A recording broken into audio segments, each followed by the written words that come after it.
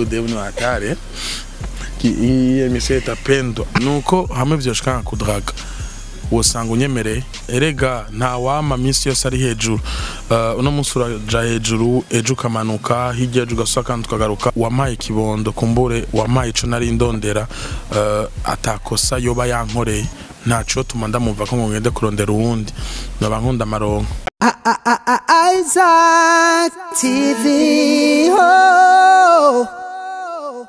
Hello bakunzi ba Isaac TV muraho eh, kuri micro muri kumwe na Shanice. Nkaba ndi kumwe n'umumenyesha makuru umu MC ari we Ami Pro. Reka ndamubahe abaramutse ego Ami urameze neza? Salamu amakuru? Bien nawe umeze neza. Nanje ndashima. Eh, Ami Pro kwa nto batamuzi ninde yitwa gute amazina yiwe? Avuka he? Shaje ndi umunyagisagara ariko uh, yavukiye mu gisagara uh, ariko muranduga ruguru kujya abandi bavuye ruguru bakamanuka mu gisagara. Hama nitwa mipro nko abivuze ndi umumenyesha makuru ndi umu MC uh, rimwe na rimwe hari igihe ntegura n'ama evenement nibaza yuko ari uko. Mfise na uh, ndi umumenyesha makuru kuri Buja FM mfise online TV yanje yitwa Mipro Show ndi umu MC ibiteramo byinshi bya hano mu gisagara narabikoze yaba ivy'abaririmbyi bo ngaha canke ivy'abaririmbyi bavuye hanze naragaragaye. Mm. eh, nk'umunsi vyoshika ukava muri Buja FM ahandi hantu wifuza ko uja gukorera ni hehe? Noca nkora ivyanje. Uyi- iyo ide yo kuvayo irahari? Eh, on sait jamais umuntu wese yama yifuza gutera imbere. Nshobora kubona ikintu gishobora kuza kineza imbere gusumba uko meze uno munsi. Gusa nosezera neza bakabimenya ariko uh, ntiharagera nihagera kumbura abantu bazobimenya Eh, Amipo nk'umu MC Pantra ni izina ryawe ntiriki nta nduru igihari cyane. Mbega ni hiti yagabanutse canke yarongerekanye? Uvuze induru ushatse kuvuga. Basi vibration niko twabivuga. Oya bon erega nta wama minsi yose ari hejuru. Uh, uno munsi uraja hejuru ejo ukamanuka hirya ejo ugasubira kandi ukagaruka ariko uh, ubwa mbere tugikora kano kazi wasanga uja ahantu hose ugasanga uh, n'umuntu agwaye amayeri amakuru agenda ariko umaze kubona umaze kumenya agaciro kawe uraheza nawe ukihagarara usanga ibiteramo rero bica biba bike kubera iki? Uh, babandi baguha ya mahera uba wifuza ntibaza cane ariko iyo baje uragaragara. Bon ahubwo bagiye kumbona cane kuko uh, ndafise presque ibiteramo birenga 8 bon bamaze kubukinga nzokora vuba. Uh, kuva le 21 le 22 novembre en tout cas ivya novembre. Uh, décembre kuva le 1er gushika le 31 hose ni bon. Journaliste no MC birakorohera gu, gufashanya vyose biranyorohera cyane kuko uh, mba nshaka kwitandukanya n'abandi nabikoze kugira ngo nitandukanye n'abandi.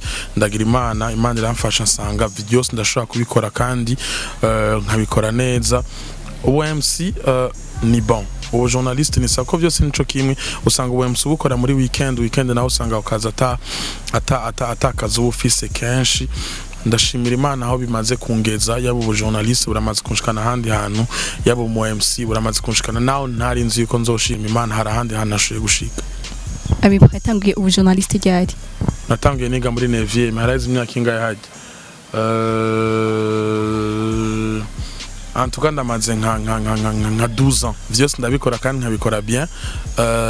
Ubu MC buramaze kunshikana muri Guinée muri competition y'aba MC euh, nahukana ikibanza ca kabiri mu bihugu 25 euh, ubu journaliste nabwo nyene buramaze kunshikana kure.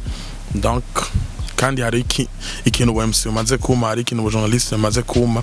Donc nibaza yuko vyose ndabishoboye.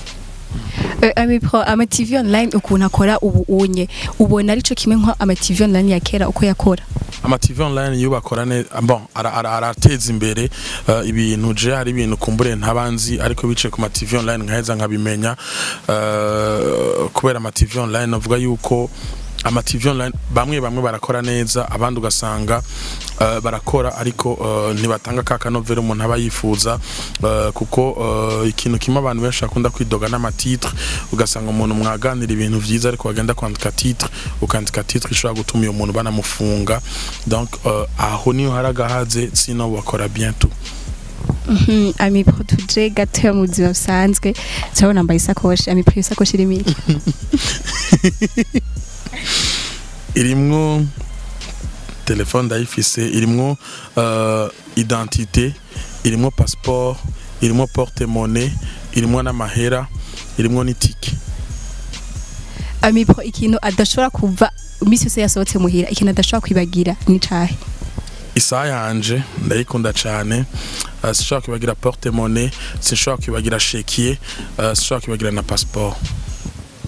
Iyo uvyutse naho imbere yo kuja muri dushe ni cahe kintu utangura gukora. Mbanza gushimira imana. Nkabanza no kuraba umwana wanje ko yavyutse neza tu. Amipro mbega ni umu protestant canke ni umu katolike musulman. Ok. Amipro reka ndakwaze utubazo turi un peu bizarre. Euh, telefone mu kirundi yitwa gute? Telefone mu kirundi yitwa gute? Eh? Kirashaka kungora ico kintu. Telefone mu kirundi yitwa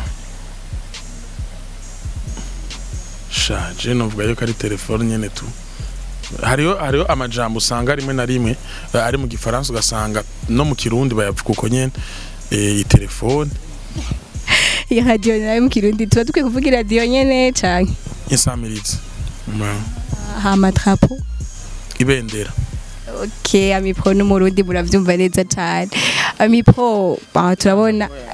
Wambajije reka nanjye ndakubaza. Ko menshi amakuru aremerewe kubaza uwundi eh, agakomokomo? N'agake eh akariganga muhogo.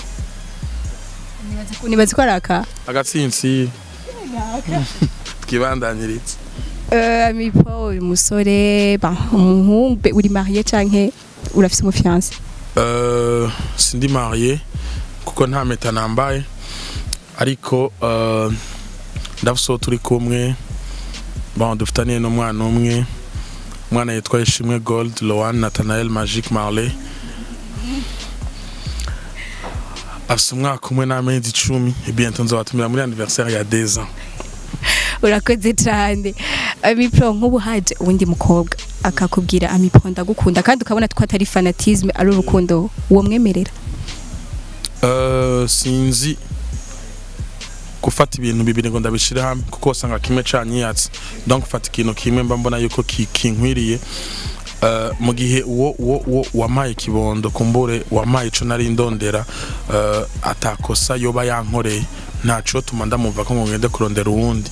Noba nkunda amaronko. Mbere amipro yagiye arazi kudraga kaniyore. oya tubwire urazi kudraga canke barakudragiye? Je narankoresha ikiganiro citwa ambiance love. Urashobora kundraga nka nkumviriza ko nashobora kuba convaincre sérieux? Ego. ego. Udebu ni hatari. Ki- hii emission itapendwa vya vile ushaka kwenda kudraga? Ego. Oh. bien. Mhm. okay. ndaza kudraga nta kibazo. ikibazo ni kimwe nuko hamwe vyoshika kudraga wosanga unyemereye sawa je nta kibazo nibinteye kuba uwa kabiri? Ikibazo nuko jewe muri kano kandi ntarashaka uwa kabiri. Sawa basi nzorindira igihe kigenze nta kibazo mugabo. Nivyaba ngombwa bizo ariko gusa ico menya nuko tu ressembles à Vierge Marie la mère de Jésus tubandanye Oh, wow. Bakunzi ba Isaac TV murabona mipro arangaye karanse kundraga mugabo. Ambwiye akantu karyoshe cyane mbere hamwe ariko mubibona nize ko muzovyandika muri commentaire. Hama twari kumwe na Amipo. Reka ndamubahe abasezere agire n'akajambo ababwiye. Merci mwakoze. Nashaka gufata umwanya gushimira Isaac TV kuba uh, iriko irakora neza kino gihe. Nibaza yuko nimwe ma televiziyo ntashobora kumara umunsi ntaravye. Uh, congratulation kuri ku, bantu bose bakora muri Isaac TV hama kuba yarazanye abakobwa n'ikintu ciza. Hajya umukobwa hari ikindi kintu azana muri muri entertainment uh, uri mu entertainer w'umukobwa hari ikintu bifasha cyane no kumukeza hama kumwifuriza kuba ndayamutera imbere muri Isaac TV hama muduzi cyane imbere impano uh, hari impano nyinshi usanga ziri mu quartier zitazwi muzikorere ko cyane kugira ngo mushobore kuzikura hamwe kuri zero muzisukane kuri hero. Hama ndabashimire namwe mwakoze imana ibahezagire niyo twahura muzondamutse sivyo? Sawa namwe murakoze. Eh, nko mubibona kuri mikro mwari kumwe na Shanice. Merci kuri abo bose bamaze kugira subscribe. Nongera ndabasaba ntimwibagire kugira subscribe kandi kugira mubandanye mukurikirana ibiganiro byacu. Behind camera yari Juma Jux. Ciao ciao. Isaac TV.